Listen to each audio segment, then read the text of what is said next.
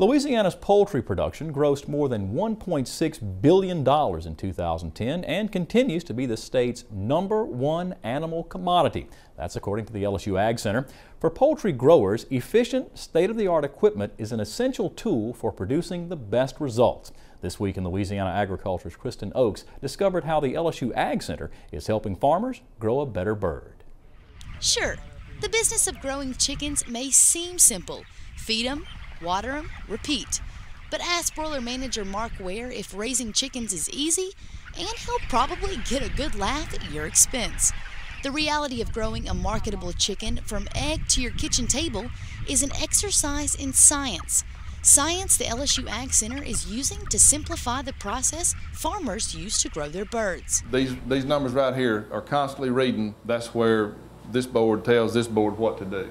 Ware explains the state-of-the-art heating systems used in the Hill Farms broiler demonstration houses here in Homer. The LSU Ag Center built these two houses last year to improve efficiency and help farmers become more profitable. If I were looking at changing over to a different type of heat, I'd want to have some uh, data to back it up. It's a simple science project tube heating versus traditional brooder heaters, keeping all other variables constant. We try to keep the temperature exactly the same, the same number of fans running at the same time with every cool cells coming on at the same time, at the same temperature, everything as close as we possibly can keep it.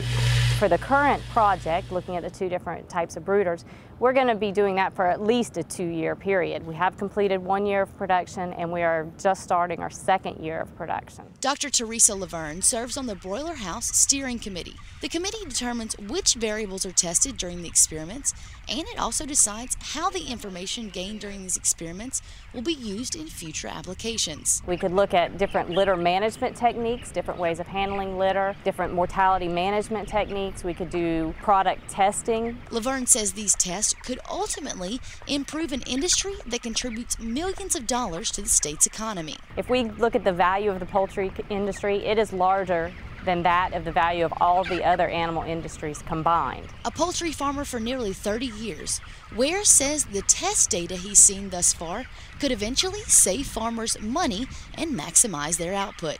The tube heat is running more economical and also growing a little bigger chicken and a little better feed conversion consistently. There's not a great difference, but there is it is consistently better. The difference is simple. A simple science for growing a better bird. In Homer, I'm Kristen Oaks for This Week in Louisiana Agriculture.